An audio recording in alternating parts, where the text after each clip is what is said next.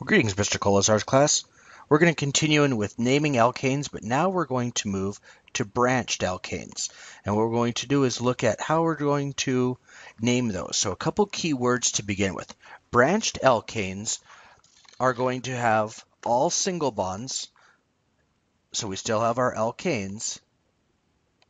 But now what we're going to do is we're going to add in what's going to be known as our parent chain, which is going to be the longest continuous chain of the hydrocarbons. And then we're going to be branching off. Our substituent groups are the smaller side chains. And so we're going to see these side chains or substituent groups are going to the smaller ones branched off there.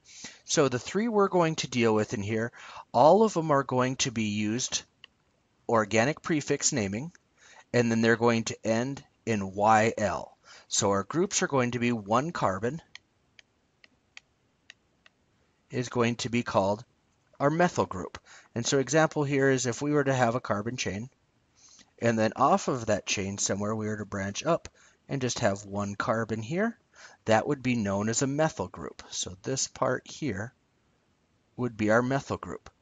Now, from there, if we were to take and have two carbons, that's going to be known as an ethyl group. One, two carbons. So we'd have a carbon and a carbon. This part here would be that ethyl group. And then finally, if we were to have three carbons, one, two, three, so carbon, carbon, carbon. This would be known as a propyl group, where it would have three carbons associated with it. So YL, YL, YL is our ending. So when we draw our parent chains our first part, we're drawing the parent, or excuse me, naming and drawing these branched hydrocarbons using the organic prefix for our parent chain as our first step. Now, once we've completed that, we're going to insert our side chains into the correct position, and then the carbon's going to always make four bonds, so we just want to make sure that we have enough hydrogens to do that. So our first one is 2-methylbutane. So to begin with, we're going to go backwards start at the back. Butane is going to be our carbon chain. So butane, one, two, three, four. Carbons would be our shorthand drawing for butane. Now we assume that we have carbons or hydrogens wherever they're not uh, carbons at to get to four bonds. And then at the two site, so if we wanted to number them one, two, three, four, at the two site, we'd have one methyl group, which would be just one line moving up. So 2-methylbutane would look one, two, three, four, with one coming off the top side there. So 2-methylbutane is our first one we've just drawn with a branch chain. Now our second one here, it says heptane, and then from there 3-ethyl 4-methyl heptane. So heptane's our parent chain, so we're always going to name our parent chain first.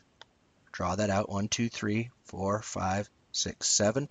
So one, two, three, four, five, six, seven total carbons. Off of the third carbon is going to be our first side chain. So one, two, three, an ethyl group. One, two is going to be our ethyl, ethyl group. And then 4-methyl off of the fourth carbon. Oh, where did our ethyl group go? And then 4-methyl one, two, three, four.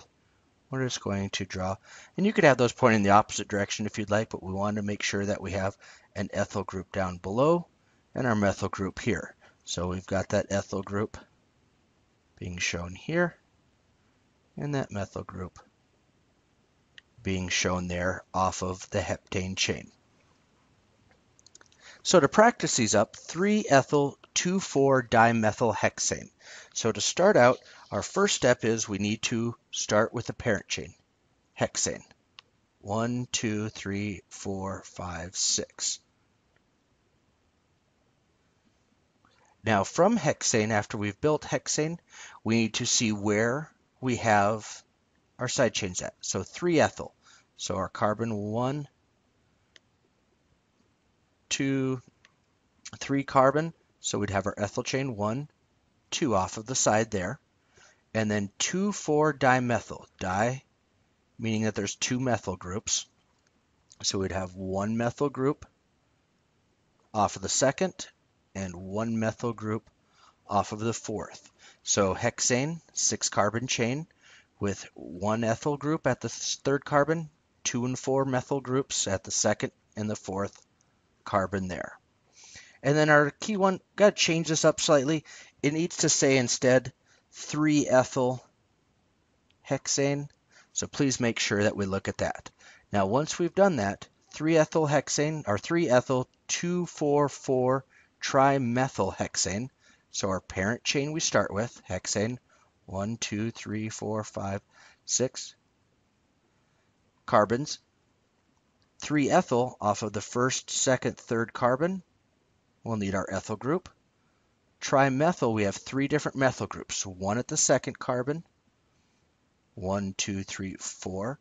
One at the third carbon, and then finally another one at that fourth or at that third carbon or fourth carbon. Oh, where did that other one go? So in the end, two four or two two four four trimethyl are methyl groups, and then our three ethyl off of a six chained hydrocarbon hexane. So our general format for naming these include this info here on that title. So the general format, number, number, dash, or number, comma, dash, sidechain, parent name, all is going to be included together. And some of these, we're going to be filling out A, B, and E here. We're going to finish out the rest as we're going. So we're going to find the number and the name of the parent chain will be our starting point.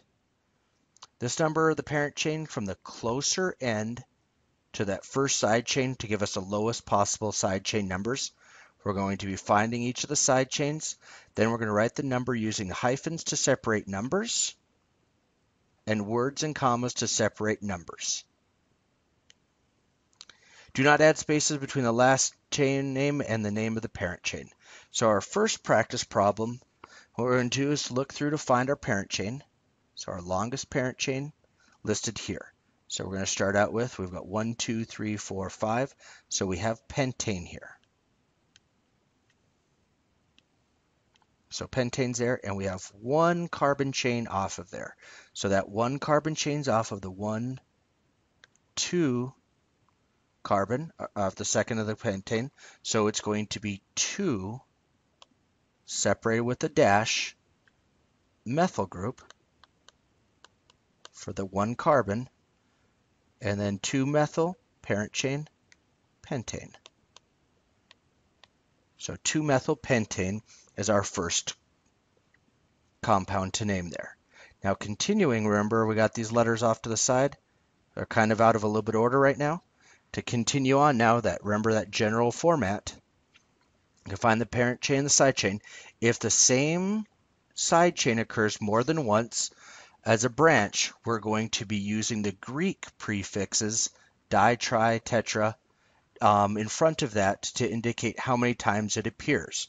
So an example of this one is going to be, we have a one, two, one, two, three, four, six, seven carbon chain.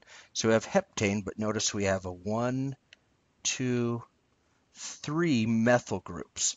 So we have heptane, where those methyl groups are, and we're going to notice this in just a second, that I numbered the opposite way to start with the smallest one. So we have three methyl groups. One's located at the 2, comma, 5, 5. So 2, 5, 5. How many total do we have? Separate hyphen. Try methyl. And then finally our parent chain, heptane. So in the end, 2,5,5-trimethylheptane is going to be the way we can name that one. And this little guy here, we're going to find the parent chain, longest carbon chain. Just going straight across, two, three, five, six is our longest chain. No matter which way you go, you get that same one. You can try some different counting. And then from there, we have an ethyl group, two carbon chain, and another ethyl group, two carbon chain, at the three and the four spots. So in the end, three, four is where we have those ethyl groups. Since we have two of them, it's going to be diethyl. And then six carbon chain, hexane. Whoops, no space in between that. That should be just one word. So 3,4-diethyl hexane is going to be the structure we've seen there. So where they're placed at, what they are, and what our parent chain is. Now, if there's more than one type of side chain, we're going to alphabetize them by the side chain. So ethyl first, then methyl, then propyl. when it comes to alphabetizing. So as we start to look at our parent chain here, longest carbon chain, one, two, three, four, five, six. So we have a hexane, and we have an ethyl group, and a methyl group, and another methyl group. So two methyl groups there. So when we start to look at this one, the ethyl group is going to be named first. So since it's alphabetized first, where is it at? 3 ethyl, separated with a hyphen. And then our next one is going to be, we have two methyl groups. So two methyl groups, and they're both at the 4. So 4, 4, di, since there's two of them, methyl, in our parent chain, hexane. So as we're going forward, we're going to be working on finding our parent chain, and then from our parent chain, our side groups, where they're located at, side groups, and where they're located at.